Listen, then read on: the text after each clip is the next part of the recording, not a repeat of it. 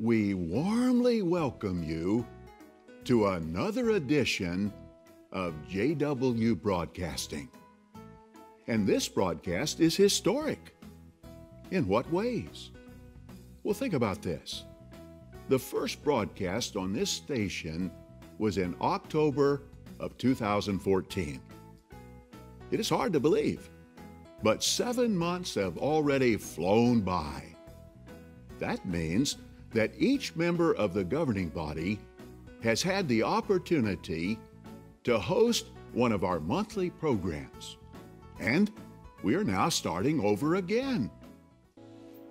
This documentary will assure us of Jehovah's love for everyone. Yes, this is the May program of JW Broadcasting. The best of the first fruits would truly honor Jehovah. And the Greek term for first fruits comes from a root word having the basic meaning of primacy or preeminence. Again, the idea, the best we have. Proverbs 3 9 also indicated that we can honor or show respect and appreciation for Jehovah with our valuable things. Jehovah is truly worthy of all the honor we can give him. Not only do we owe it to him, because he is our creator, he is worthy of it because of the kind of God he is. But what are the valuable things with which we can honor Jehovah? What first might come to mind are our material possessions, our finances. Well, that is true. But now, I would like to address the valuable things that may have first come to mind material possessions or financial giving and support. As you know, for over 130 years, this organization has never solicited for funds, and it is certainly not going to start now. We don't send out monthly statements to each of Jehovah's Witnesses specifying a dollar amount that should be submitted to finance the work worldwide. Most donations, in fact, are contributed anonymously. Over the years, I have told various Bible students that a person could attend our meetings for 20 years and never put a penny in the contribution box, and we would not know it. Jehovah, of course, would know it, but we would not because the donations are anonymous but from the heart. We don't know who gives what.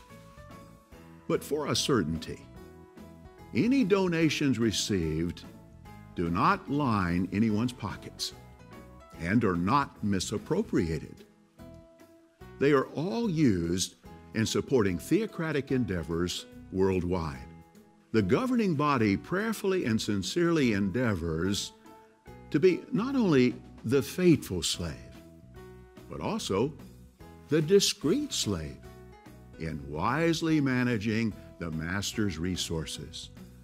And please, dear brothers and sisters, pray for Jehovah to help us to be successful in being not only faithful, but also discreet. But often a member of the governing body will be heard to say, in spending Jehovah's money, we have to be more careful than we are in spending our own money. And that is truly how we feel about the matter.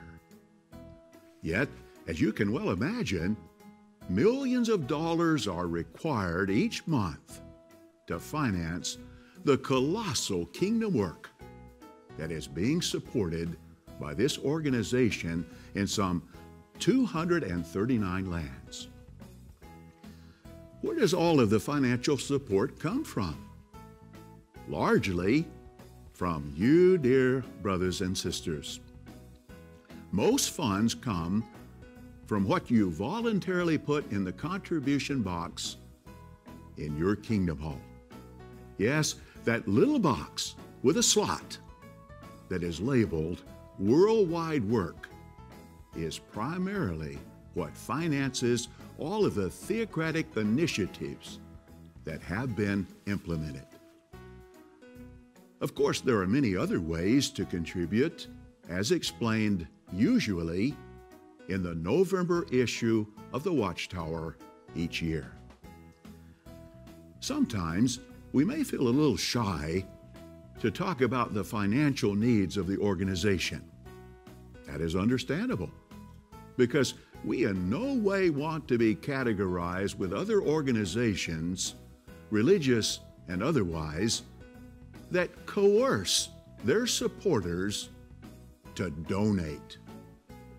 However, because all of us have the privilege to donate funds, we would like to let you know something about our current situation. Then you can respond as your heart impels you. As you might have sensed, I am not shy about this subject. And why not? It is because we have many scriptural examples of Jehovah's faithful servants making known the financial needs of the congregation. Only when supporters of the kingdom know the needs can they respond accordingly. The governing body very much feels the urgency of accomplishing as much as we possibly can in behalf of kingdom interest, knowing that the great day of Jehovah is near. So, in an effort to keep you informed of the support that is needed for this great work, I have the following information to share. We have looked forward to this next fiscal year and projected the expenditures for all of the theocratic initiatives we are scheduling. In doing the math, we found that the amount of money flowing out will be much greater than the amount of money that we have coming in at this time. Well, why is that? Does this represent a lack of appreciation for spiritual things? No, absolutely not. To the contrary, we are witnessing unprecedented enthusiasm among the brotherhood for all the spiritual bounty that is coming our way. We have up to date Bibles and an abundance of printed literature. And there's so much appreciation for the new and continually improving jw.org website. There is also excitement about public witnessing using literature carts and with such great success. No, the financial circumstance has nothing to do with a lack of spirituality or appreciation.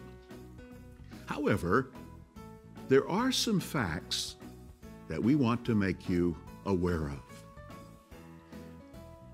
For one thing, the financial needs in the field have accelerated at a pace unlike any time in the recent past. A recent analysis of the need for kingdom halls here in the United States showed that some 1,600 new kingdom halls or major renovations are needed, not sometime in the future, but right now. And worldwide, we are in need of more than 14,000 places of worship. Additionally, please think about this. Today, how many publishing companies print publications in the many languages that Jehovah's organization does? The answer? None. And why is that? It is because they cannot make a financial profit. We, however, are accelerating our method of translating publications into indigenous languages. Hence, we have another reason we need to increase our finances. We just felt that you, dear brothers and sisters, needed to be made aware of these expenditures that we're facing in the coming months and years.